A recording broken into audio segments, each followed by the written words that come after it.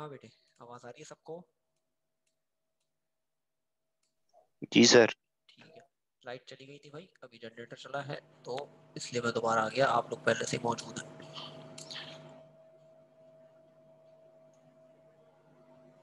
अच्छा भाई तो बात हो रही थी हमारी एक्सपेंशन और कॉन्ट्रेक्शन की ना कि भाई एक्सपेंशन और कॉन्ट्रेक्शन का मामला ये तो मैं आपको एग्ज़ाम्पल दे रहा था एग्ज़ाम्पल मैंने आप लोगों को ये दी कि भाई हमारे पास जो है वो थर्मामीटर के अंदर होता है मरकरी। अब जो थर्मामीटर के अंदर मरकरी है तो वो मरकरी जब हम अपने मुँह में जबान के नीचे रखें टेम्परेचर चेक करने के लिए अपनी बॉडी का तो होता क्या है? क्या होता है भाई? लिक्विड जो है अंदर मरकरी, वो क्या करता है? ऊपर बढ़ना शुरू होता है। फॉर एग्ज़ाम्पल मेरे पास ये थर्मामीटर है एक। ठीक है भाई, मैं एक थर्मामीटर ऐसे ही एक रफली एक थर्मामीटर बना रहा हूँ। ठीक है भाई? यहाँ पर उसका एक अदद मरकरी मौजूद होता है। यहाँ पर हमारे पास क्या मौजूद होता है? मरकरी मौजूद होता है। और वो मरकरी थोड़ा सा ना ऊपर की तरफ़ भी होता है। यहाँ पे एक आधा टेम्परेचर होता है, वो टेम्परेचर होता है मेरे ख्याल से 98 डिग्री फ़ारेनहाइट अब 98 के बाद ऊपर होगा 99 फिर होगा 100 फिर होगा 101 फिर होगा 102 फिर होगा 103 फिर होगा 104 इसी तरह अगर डिग्री सेंटीग्रेड में देखूँ तो शायद 37 डिग्री सेंटीग्रेड होगा यहाँ पे। थोड़ा सा जूम कर रहा हूँ ताकि आपको नज़र आ जाए। अब यहाँ पर है मरकरी। जब हम इसे थर्मोमीटर को मुँह में रखते हैं तो ये क्या होता है? मरकरी जो है, वो ऊपर की तरफ़ ट्रेवल करने लगता है। फॉर एग्ज़ाम्पल भाई, मैंने जो है, देखा, मुझे जो बुखार है, वो कितना है?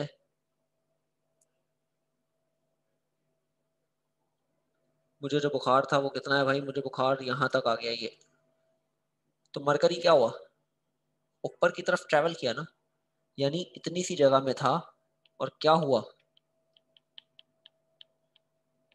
एक्सपेंड हो गया।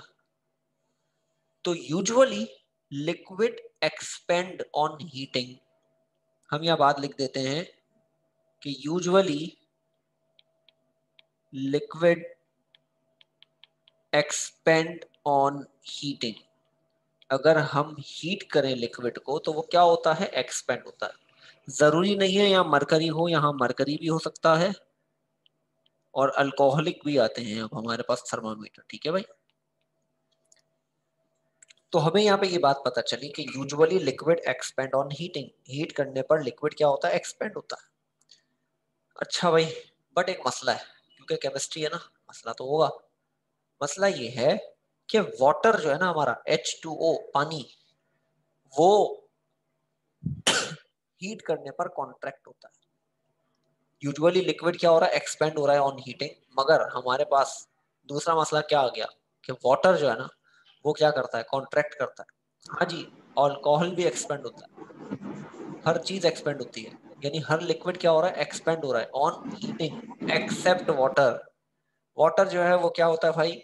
कॉन्ट्रैक्ट होता है ऑन हीटिंग यानी अगर हम ये कहें कि वाटर जो है, वो एक्सपेंड कब होगा? तो हम कहेंगे ऑन कूलिंग अगर हम कूल करें वाटर को, ठंडा कर दें तो वो क्या होगा? एक्सपेंड होगा। तो मैं यहाँ लिख देता हूँ ना, मैं ये थर्मामीटर मिटा रहा हूँ भाई।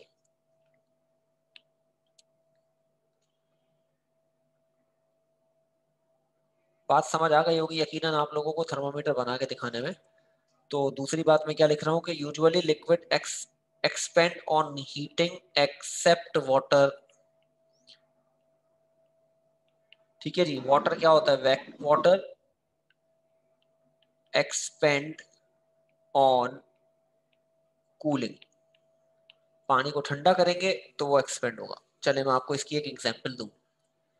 आपके घर में 500 ml की पानी की बोतल होगी। सबके घर में होती है। प्लास्टिक वाली जो आती है। आप उसको भरो, बिल्कुल पैक भर दो, ऊपर मुँह तक, और ढक्कन बंद कर दो। और उसे फ्रीजर में रख दो। उसे कहाँ रख दो? फ्रीजर में रख दो। तो होता क्या है, जब आप उसे फ्रीजर में रखकर जमाते हो तो उसके नीचे की जो बेस होती है ना, पानी की बॉटल की जो बेस है, वो बेस बाहर निकल आती है। वो बेस क्या होती है?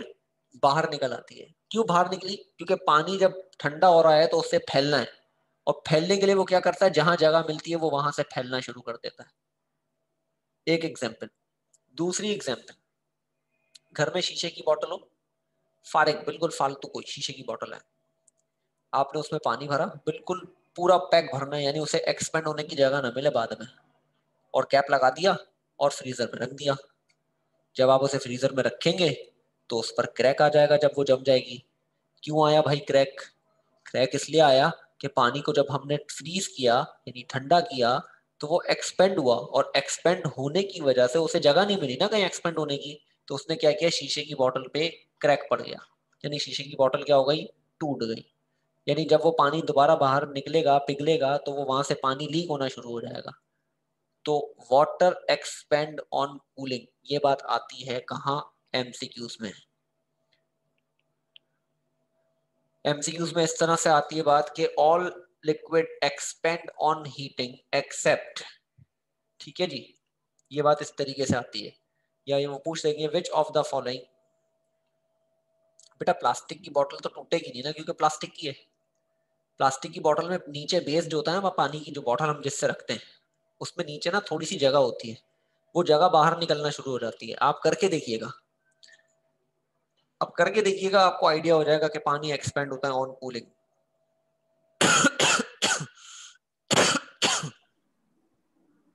तो ये एक्सपेंशन एंड कॉन्ट्रेक्शन वाली बात थी जो मुझे आप लोगों को बतानी थी। इसके अलावा हमारे पास डिफ्यूजन होती है। डिफ्यूजन के अलावा हमारे पास जो है वो भाई प्रेशर वगैरह वाला मामला तो है नहीं लिक्विड में, क्योंकि इसके मॉलिक्यूल्स एक दूसरे से करीब है। तो वॉल ऑफ़ कंटेनर से टकराएँगे नहीं। जब टकराएँगे नहीं तो प्रेशर क्रिएट नहीं करेंगे। सीधी सी बात। तो हम चलते हैं फिर अब इससे आगे थोड़ा सा अब हम आगे चलते हैं और हम बात करते हैं कि लिक्विड की क्या क्या प्रॉपर्टीज़ हैं जो हमने डिस्कस करनी है। तो लिक्विड की कुछ प्रॉपर्टीज़ है, उसकी हम बात करते हैं आज। तो लिक्विड की प्रॉपर्टी में भाई सबसे पहले हमने जो डिस्कस करनी है, वो एक जो इसकी प्रॉपर्टी है, वो है विस्कोसिटी दूसरी जो हम इसको डिस्कस करेंगे, वो होगी सरफेस टेंशन तीसरा हम जो यहाँ डिस्कस करने वाले हैं, वो है वेपर प्रेशर ये तीन टॉपिक्स जो कि रिड्यूस सिलेबस में तो हमने तीन ही पढ़ने ठीक है? तो रिड्यूस सिलेबस के हिसाब से पढ़ाऊँगा भाई। तो रिड्यूस सिलेबस में हमारे पास तीन टॉपिक है विस्कोसिटी सरफेस टेंशन और वेपर प्रेशर इसके अलावा क्या क्या है भाई? इसके अलावा जो है वो है बॉइलिंग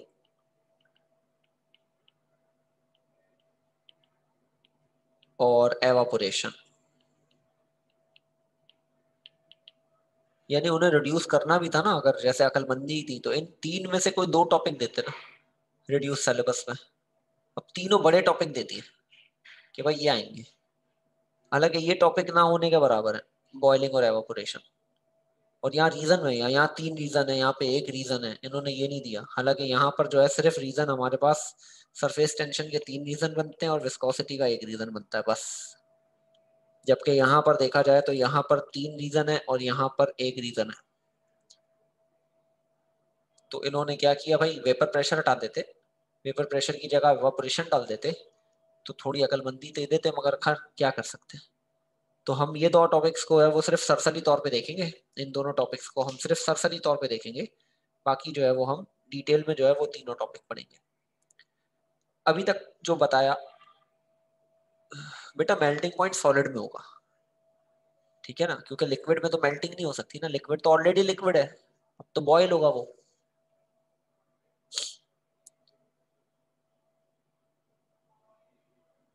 इससे पहले भी शायद मैंने डिस्कस किया हो आप लोगों के साथ कि भाई हमारे पास जो प्रोसेसेस होते हैं, वो प्रोसेसेस क्या क्या होते हैं? जरा आज हम बात कर लेते हैं ना कि हमारे पास तीन स्टेट्स हैं। हमारे पास एक स्टेट होती है सॉलिड एक हमारे पास है लिक्विड और एक है मेरे पास गैस ठीक है? सॉलिड से लिक्विड में आने वाले प्रोसेस को क्या कहते हैं? मैं सॉलिड से लिक्विड में आ रहा हूँ। मेल्टिन मेल्टिन कहते हैं भाई। जी बिल्कुल। और अगर मैं लिक्विड से सॉलिड में जा रहा हूँ तो?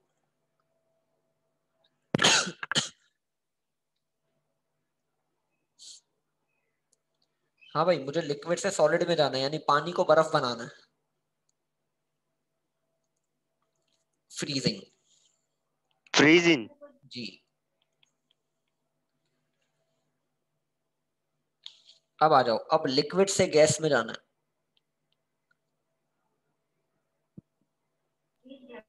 इवेपोरेशन एवापोरेशन ठीक है भाई। गैस से लिक्विड में आना है।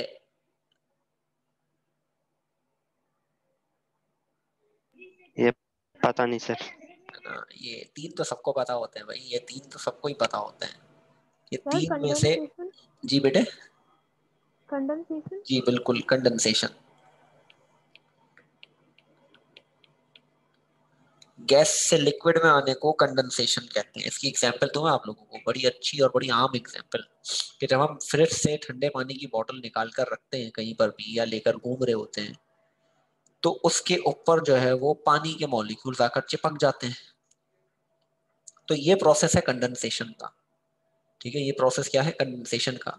कि क्या हो रहा है कि हमारे एटमॉस्फेयर में जो एयर के वो पानी के जो मॉलिक्यूल्स हैं, यानी वाटर वेपर्स जो हैं, वो आकर क्या करते हैं? ठंडी चीज़ से चिपक जाते हैं।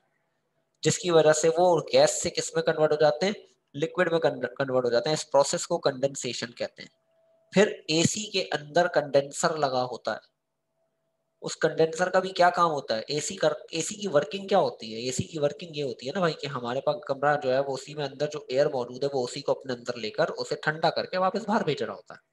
इसी वजह से एसी में से पीछे एक पाइप जा रहा होता है, जिसमें से पानी निकल रहा होता है। तो वहाँ पर भी क्या हो रही है? कंडेंसेशन इसी तरह से सॉलिड से गैस में भी आते हैं कुछ।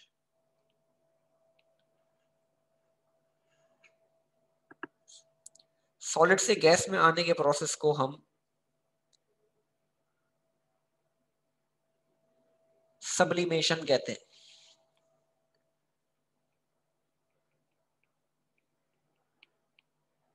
ठीक है जी? सॉलिड से अगर कोई चीज़ डायरेक्ट गैस में जा रही है, अब आप लोग सोच रहे होंगे यार ये क्या बात हो रही है कि सॉलिड से डायरेक्ट गैस में जा रही है। पहले सॉलिड से लिक्विड में आया, फिर लिक्विड से गैस में जाए ना।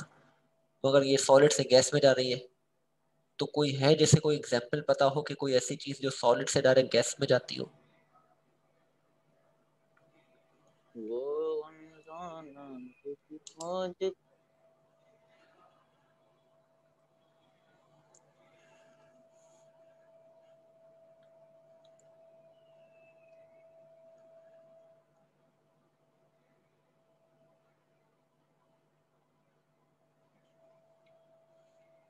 हाँ भाई ड्राई आइस जो हमारे पास एग्ज़ाम्पल है ड्राई आइस ड्राई आइस कहलाती है solid carbon dioxide solid carbon dioxide जो है ना, वो डायरेक्टली कन्वर्ट होती है गैस के अंदर. ठीक है ड्राई आइस कहाँ होती है भाई? फायर एक्सटिंग्विशर्स होते हैं ना, आग बुझाने वाले वो लाल कलर के. फायर एक्सटिंग्विशर्स उसके अंदर होती है ये. ठीक है, इसके अलावा और भी बहुत सारे मॉलिक्यूल्स हैं. ये बहुत सारे ऐसे कंपाउंड्स हैं जो डायरेक्ट सॉलिड से गैस में कन्वर्ट होते हैं, जिसमें मैं आपको एक एग्ज़ाम्पल और दे देता हूँ आयोडीन आई टू और एक, और एग्ज़ाम्पल जो घर में बड़ी इस्तेमाल होती है हमारे, आप लोगों ने फिनाइल की गोलियों का नाम तो सुना होगा। फिनाइल की वाइट कलर की कुछ बॉल्स टाइप की जो है वो टेबलेट्स आती है, जो हम अपनी अलमारियों में रखते हैं, कपड़ों में। तकरीबन सब घरों में ये होता होगा। उसकी हकीकत क्या है? उसकी हकीकत यह है कि उसे कैम्फर कहते हैं। केमिस्ट्री की जबान में उसे कैम्फर कहते हैं। कैम्फर है क्या? अच्छा होता क्या है? हम वो फिनाइल की गोलियाँ रख तो देते हैं अलमारी में। जी बिल्कुल बिल्कुल काफूर भी कहते हैं। एग्जैक्टली exactly, काफूर भी कहते हैं। ठीक है कॉमनली इसे काफूर की गोलियाँ भी कहते हैं। तो काफूर जो है हमारा वो हमारे पास केमिस्ट्री में देखा जाए अगर हम अंग्रेज़ी बात करें तो कैम्फर है इसका जो नाम है। तो ये जो होते हैं हमारे पास, ये क्या करते हैं भाई? ये हमारे पास हमने अलमारी में रखे कैबिनेट्स में रखे, और कुछ अरसे के बाद वो वहाँ मौजूद ही नहीं है। कहाँ गए? तो वो क्या हो रहे हैं? सॉलिड से डायरेक्ट गैस में कन्वर्ट हो रहे हैं। और जब आप अलमारी खोलते भी हो तो आपको स्मेल भी आती है।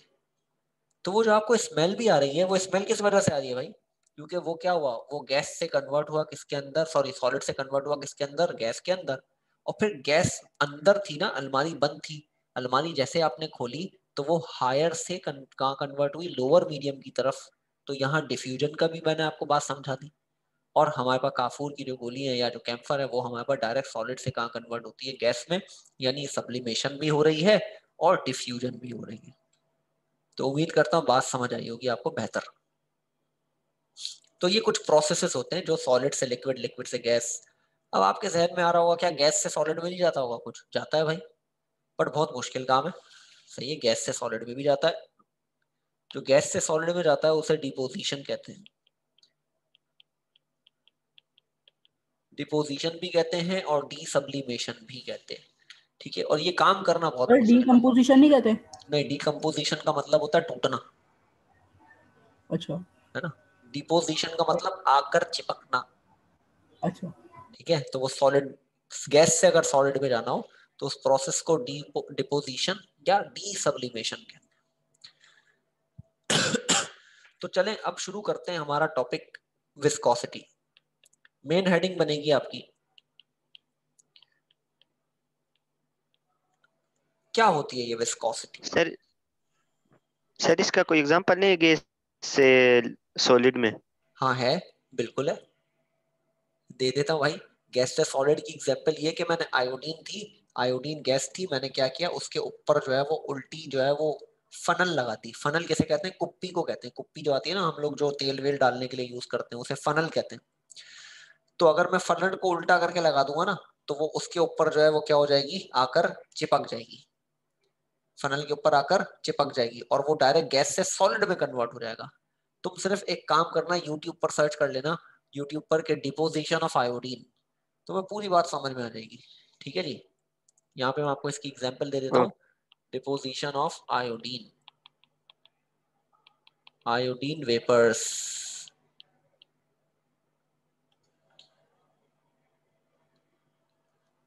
नहीं बेटे सॉलिड से गैस की एग्जांपल लिक्विड वो फ्रीजिंग नहीं हो सकती ना क्योंकि हम लिक्विड से सॉलिड में जाते हैं तो फ्रीजिंग होती है। हाँ भाई दस मिनट रह गए क्लास खत्म होने में। तो विस्कोसिटी की थोड़ी सी बात कर लेते हैं। तो विस्कोसिटी क्या है? Flow of liquid flow of liquid exactly flow of liquid liquid flow क्यों करता है?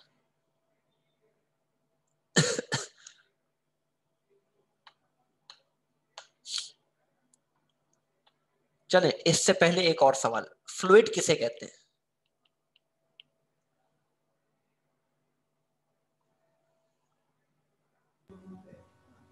सर एक ट्यूब थी tube. Tube? Tube tube tube. Tube को क्यों बोलेंगे? मैं कह रहा हूँ फ्लूड किसे कहते हैं? फ्लूड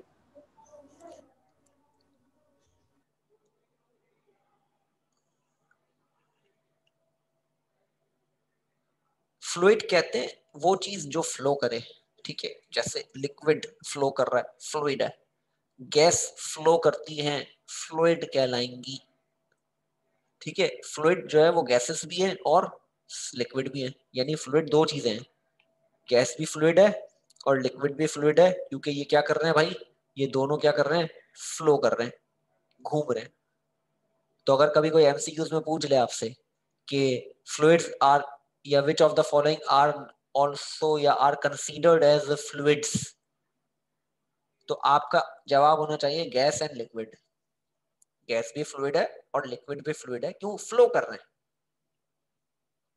मगर दोनों फ्लो कर रहे हैं, दोनों के पास विस्कोसिटी होनी चाहिए, मगर गैस की विस्कोसिटी नहीं होती लिक्विड की होती है। ऐसा क्यों है भाई अब? अब ऐसा इसलिए है कि विस्कोसिटी है क्या? विस्कोसिटी है the resistance to flow liquid resistance की बात है। रेजिस्टेंस मानी फ्रिक्शन हो। और फ्रिक्शन कब होगा? जब एक मॉलिक्यूल दूसरे मॉलिक्यूल के साथ चिपका हुआ होगा। तभी तो फ्रिक्शन होगा, वरना फ्रिक्शन थोड़ी होगा। तो विस्कोसिटी कब होगी? विस्कोसिटी सिर्फ़ लिक्विड में क्यों है? क्योंकि वो मॉलिक्यूल्स एक दूसरे के ऊपर हैं, और जो विस्कोसिटी है, या जो फ्लो होता है लिक्विड का, वो क्या है? हमारे पास ड्यू टू फ्रिक्शन यानी रेजिस्टेंस टू फ्लो वाली बात फ्रिक्शन होगा, तभी फ्लो होगा, वरना फ्लो नहीं होगा। तो यहाँ पर जो हमारे लिक्विड्स होते हैं, वो लेयर्स की फॉर्म में पाए जाते हैं। जो लिक्विड है, वो किस फॉर्म में पाए जाते हैं? मॉलिक्यूल्स लेयर्स की फॉर्म में पाए जाते हैं। और ये लेयर्स मूव करती हैं, जिसकी वजह से लिक्विड फ्लो करता है। ठीक है भाई? तो ये लेयर्स की वजह से ये कहलाती है विस्कोसिटी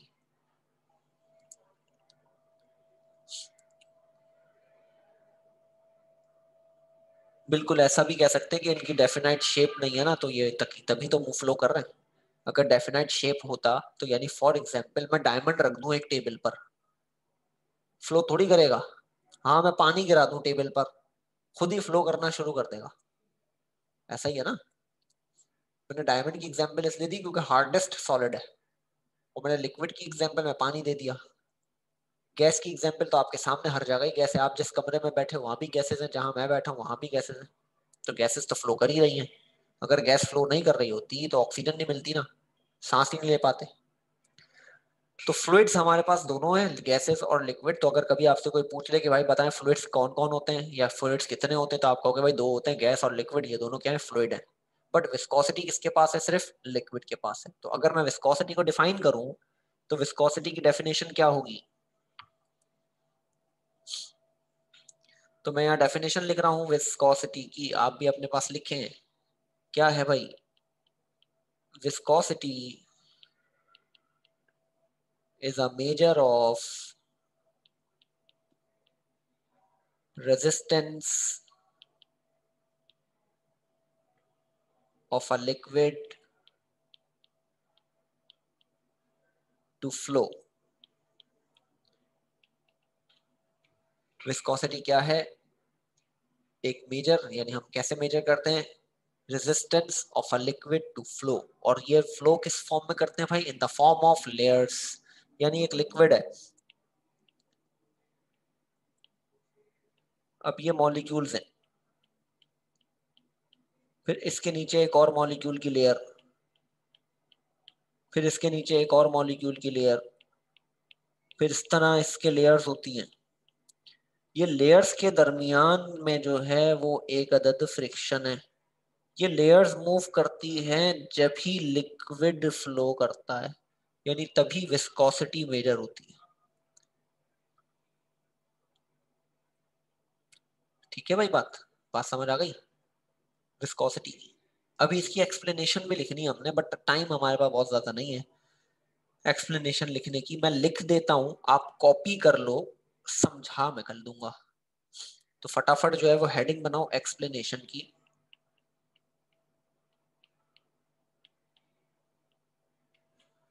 हाँ जी एक्सप्लेनेशन क्या है मैं यहाँ लिख रहा हूँ।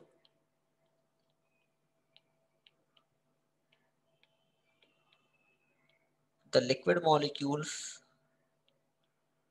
flow in different layers.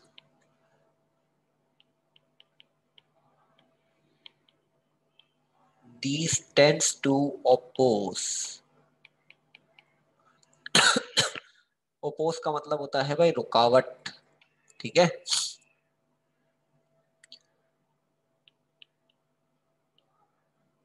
Movement of each other and this internal friction is set up and the force of resistance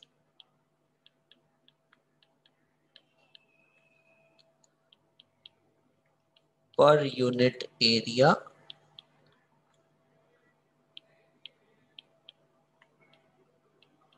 which will maintain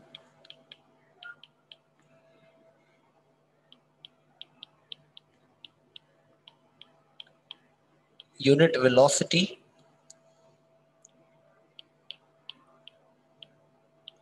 Difference between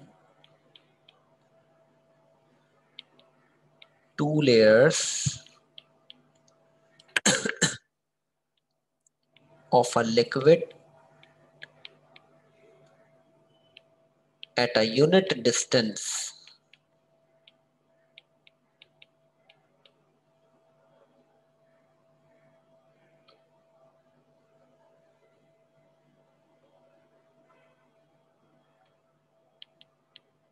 called viscosity. ये जो मैंने इन्वर्टेड कॉमर्स में लिखी है ना, ये इसकी दूसरी डेफिनेशन है।